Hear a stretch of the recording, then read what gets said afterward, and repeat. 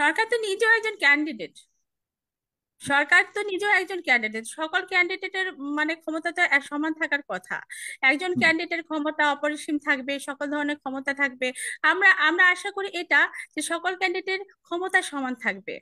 এক- এক- একজন ক্যান্ডিডেটের ক্ষমতা থাকবে অপরিসীম হ্যাঁ সকল ধরনের ক্ষমতা থাকবে আর বাকি ক্যান্ডিডেটদের কোনো ধরনের ক্ষমতা থাকবে না। এটা তো কখনো নির্বাচন হইতে পারে না। এটা কোন ধরনের নির্বাচন হয়? আমরা এটা চাচ্ছি। নির্দলীয় সরকার চাচ্ছি এবং ক্ষমতা সকল ক্যান্ডিডেটের সমান হোক। মানে যে সরকার তো উনি ওনার হাতে তো মানে উনি তো ফাইট করছেন অস্ত্র দিয়ে হ্যাঁ?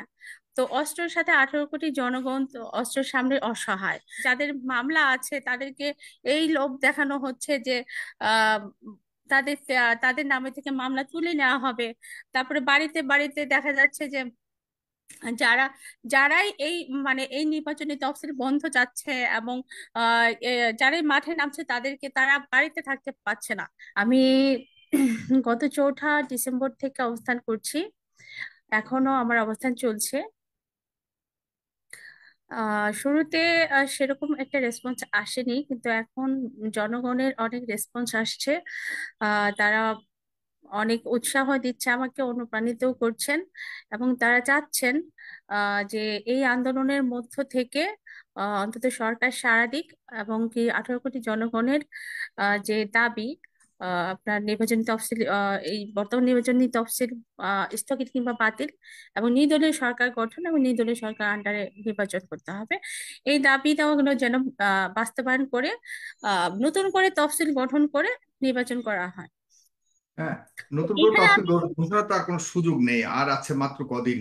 নির্বাচনী প্রচারণ প্রচারণা চলছে এবং নির্বাচনের দিন ঘনিয়ে আসছে। সবাই নির্বাচনে ভোট দেওয়ার জন্য যথেষ্ট প্রস্তুতি নিয়ে নিয়েছে এমনটি দাবি করছে সরকার এবং নির্বাচন কমিশন। আপনার আন্দোলনের কি অবস্থা? আপনি যে আন্দোলনটা চালিয়ে যাচ্ছেন একাই চালিয়ে যাচ্ছেন এখন কি একাই চালিয়ে যাচ্ছেন? নাকি আপনার সাথে কেউ যুক্ত হয়েছে? আপনি কতটুকু স্বাধীনভাবে আপনার আন্দোলন চালিয়ে যাচ্ছেন? এগুলি একটু শুনতে চাই। হ্যাঁ আমার সাথে আহ, যুক্ত হচ্ছে কিন্তু তারা সারাদিন আমার সঙ্গে অংশগ্রহণ করতে পারছে না।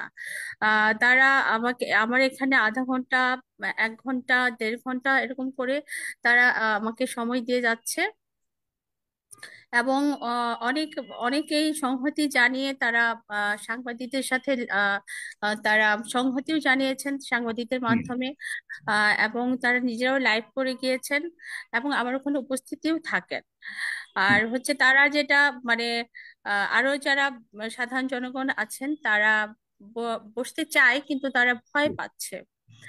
তাদের আচ্ছা। তাদের দিক থেকে যেটা আমাকে জানালো তারা যে তারা আহ, কথা বলে এরকম যে তারা তাদের ভয়টা হচ্ছে যে তারা বলছে যে তারা তো পরিবারের আহ, যারা ইনকাম করে মানে ওনারা ইনকাম করেন তাদের পরিবারে আরও সদস্য আছে। যদি আহ সরকার এখন যে মানে বর্তমান যে সরকার আহ তো উনি ওনার হাতে তো মানে উনি তো ফাইট করছেন অস্ত্র দিয়ে হ্যাঁ?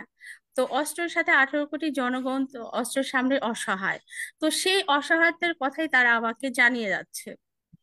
এবং তারা বলছে যে যদি এই প্রশাসনিক ক্ষমতা বা এই যে অপশাসন, অপরাজনৈতিক ক্ষমতা হ্যাঁ এগুলো যদি না থাকতো এবং অস্ত্রের ব্যবহার না থাকতো, তাহলে সারা বাংলাদেশ থেকে জনগণ নামার একটা উদ্যোগ নিত। কিন্তু আঠারো কোটি জনগণ এখানে ভয় পাচ্ছে, এই অস্ত্রের ভয়টা পাচ্ছে। তারা আমাকে বারবার এইটা, এই মেসেজটাই তারা দিচ্ছে যে একটা কথাই বলছে যে, অস্ত্রের সামনে আমরা আঠারো কোটি জনগণ অসহায়।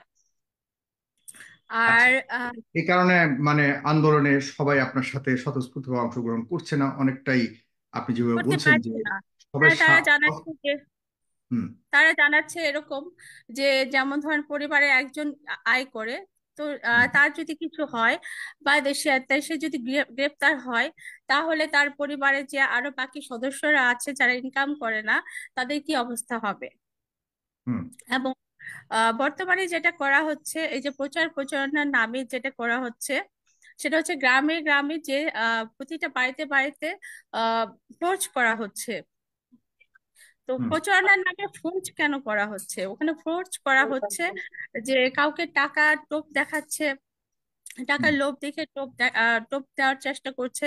যারা টাকার লোভটা মানে আহ লোভে তারা টোপ গিলছে না তাদেরকে আবার ভয় দেখা, দেখানো হচ্ছে, মামলার ভয় দেখানো হচ্ছে।